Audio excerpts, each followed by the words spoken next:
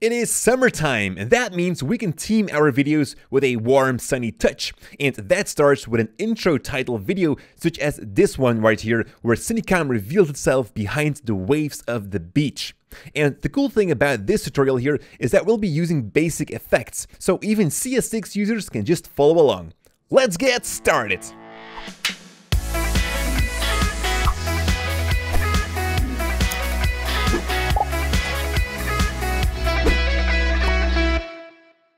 What up guys, Jordy here for Cinecom.net and welcome again to the greatest channel here on YouTube where we share all kinds of tutorials about Premiere Pro, filmmaking, camera techniques, lighting, etc.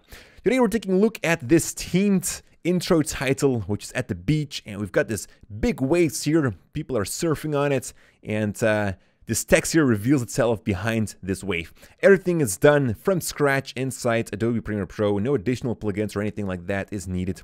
So let's get started with a new sequence here from pressing this new item button here from the project panel. And uh, let's just give this any name. Let's say big wave, press OK. And the first thing I want to do now is create a solid layer. So I'm going to go back to this new item menu here and select the solid or color matte it's called inside Premiere press OK, and you can pick any kinds of color that you want. We're also going to change the colors afterwards, so actually it doesn't really matter what color you pick in here. Let's just go for anything. And this is going to be the background, which is the thing that we're going to start with. And I'm going to drag this layer inside my sequence, make it a little bit longer, or perhaps zoom in into my sequence so I can see a little bit better here. 15 seconds, that's more than enough. Now let's color this background the way that we want it to.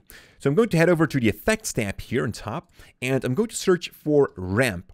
And it's under here, the Generate folder. Just drag that effect onto that layer here, and that way we can kind of create this gradient color effect over this layer. So I'm going to go with this layer selected to the effects controls here on top, and from that ramp effect here, I'm going to change the starting color, which is on top, to let's say something orangey, which is like the late sun color, to something darker orange, something like this perhaps. Press OK, and for the color below, I'm going to pick out something more vibrant and brighter, something like this. And perhaps we might want to change this a bit more. The one on top can be a little bit darker so that we can definitely see this gradient so that it looks more like a sunlight coming from behind the horizon. Now let's create those waves here. I'm going to go back to my project panel because I'm going to create a new solid here from the menu again and here color matte, press OK. And uh, again, you can give that a color, but it really doesn't matter because we are going to change that anyways afterwards. I'm going to call this layer wave and drag that on top of my background. Make that the same length as my background as well. And now to create that wave, I'm going to go to my effects controls here again and just type in wave. Look at that, wave warp. Just drag that onto that wave and already you can see some things going on in here. You want to increase the width of that wave and the height of that wave. And that way you can kind of create these waves. Now we want to make sure that these waves here are somehow in the middle and that down below that we don't see any waves. So from the pinning setting here, from the wave warp, we're going to say that we don't want any waves on the bottom edge. So just select that and it will just take care of that. Now the waves on top is because this layer is also the same size as our sequence. So we're going to crop this layer a bit so that the waves will be more somehow in the middle. So I'm going to search on my effects controls for crop under the transform folder and just drag that on that layer as well. Scroll a bit down and from the top here, I'm going to crop it a bit in like so. As you're seeing, we are actually cropping into the wave, and that is because we are first creating the wave, and then we are doing the crop. So you want to make sure that you are first doing that crop, just drag that effect above the wave warp, like that.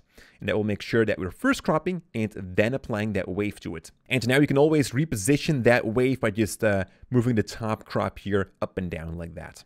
Alright, let's start with the animation of this wave now. There's already some sort of an animation here, and that is because of the speed setting here, the wave speed. If we're going to set this on zero, we don't see that wave moving anymore. But we do want that, so I'm going to put this somewhere at 0.1. And that way we have this very smooth wave going on, perhaps a little bit faster, not too much, 0.2, maybe perhaps 0.3 you'll have to play with this. Now the wave is going to start flat, and perhaps I might want to increase that white a bit. And the height, this is just going to be somewhere around zero, a flat wave. This is how it starts. We're going to create a keyframe for that height and just uh, push that a little bit further and then just increase that wave and it's going to be somewhere around this point here that we want to reveal that text as well at the highest point of that wave. So let's just see how that looks as it's coming in here. Looking good. And perhaps I might want to increase that white even a bit more like that so that it really looks like nice waves. All right, this looks pretty nice. And then for the next keyframe, we want those waves to go back down. But look what I'm going to do now. I'm going to bring this to a negative value, and that way I'm introducing new wave heights. Something like this.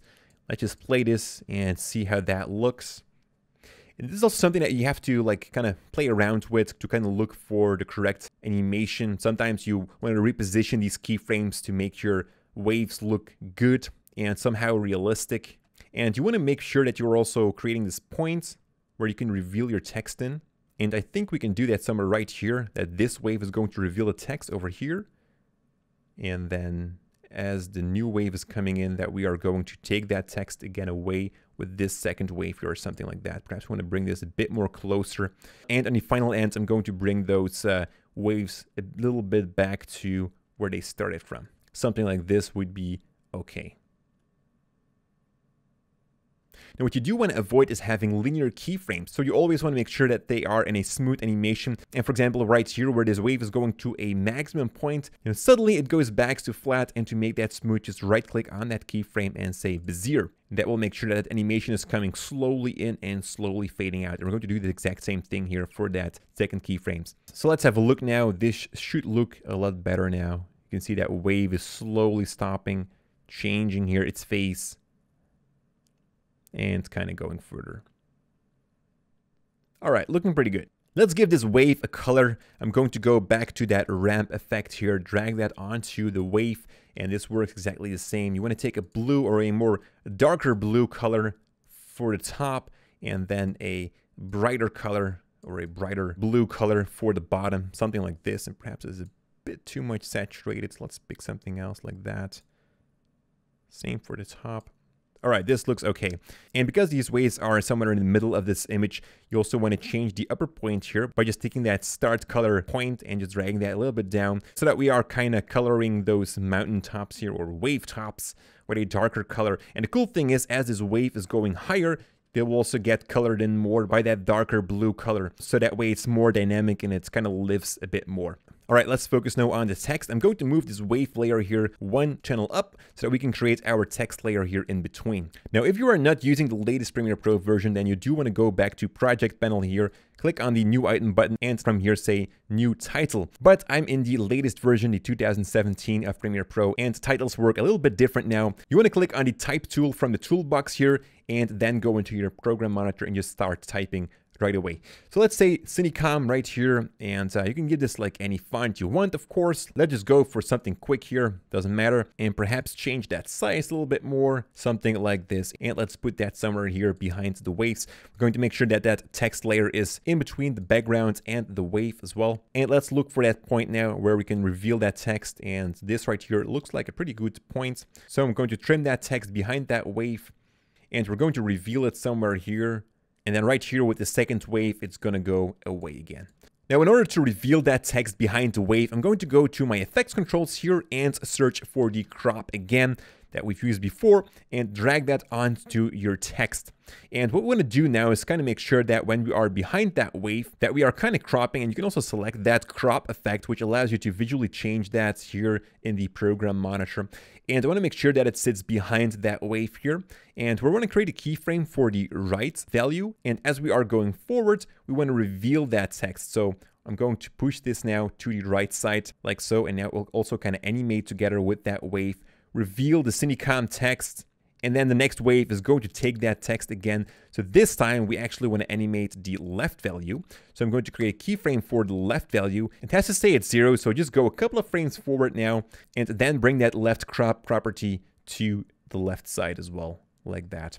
Then go a little bit further in time as the wave continues, and we are going to align that crop as well with that wave. And since the text here is gone, we can also just trim that here like that. So now everything should look okay.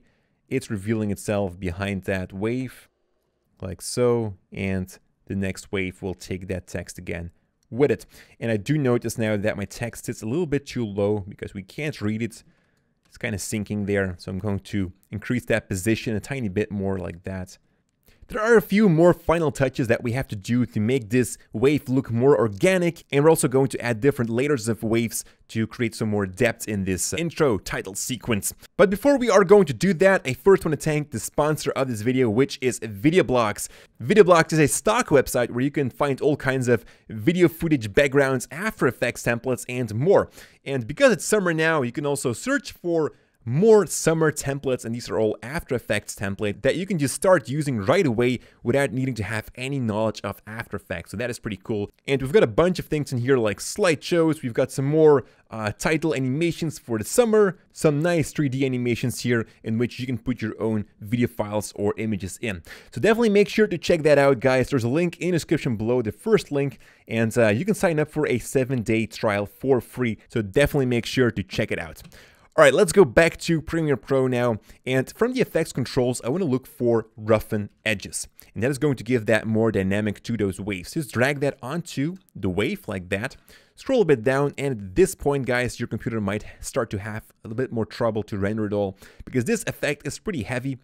From the properties of the roughen edges, you want to change the edge type here to just roughen. Sometimes it's set roughen color by default, so make sure it's set to roughen and then just kind of increase the scale here of that border. And you might also want to increase that border a bit more, and here you can kind of see what it does. And we just kind of want to give this wave a bit more extra waves within by adding this roughen to it. So let's have a quick look at this.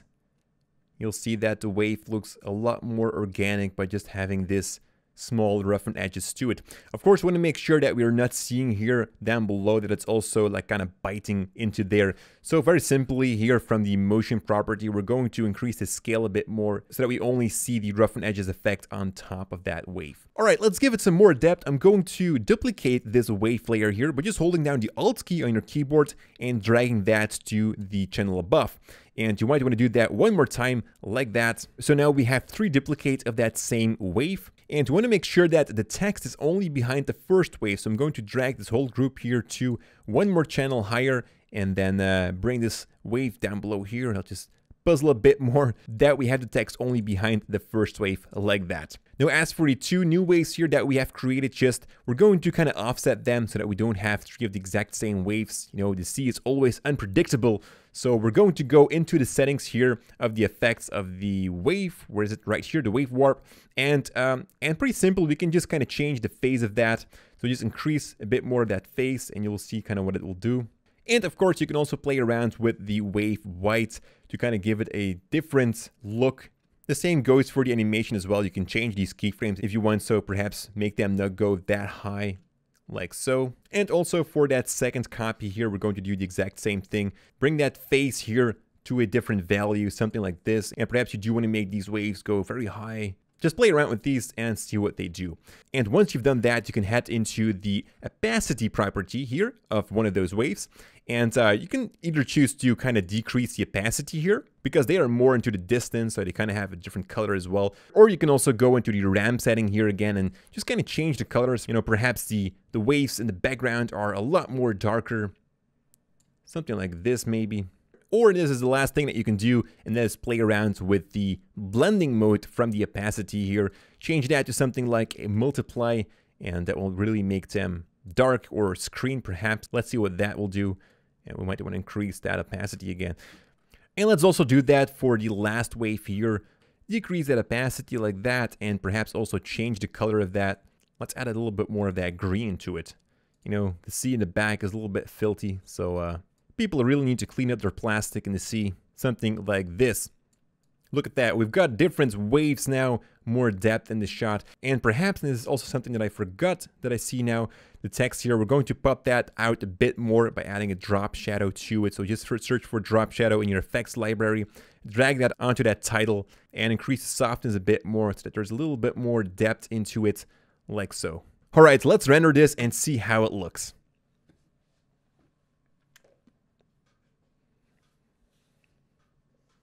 And that is looking pretty cool. Look how wild that sea is and how much depth it has and how it kind of reveals that text here behind this big wave in the front. Alright guys, that was it again for this tutorial. I hope you've learned something new. As always, you can download this project file for free from our website. You can find the link to it in the description below, or you can also just click this button right here. Thank you so much for watching, and as always, stay creative.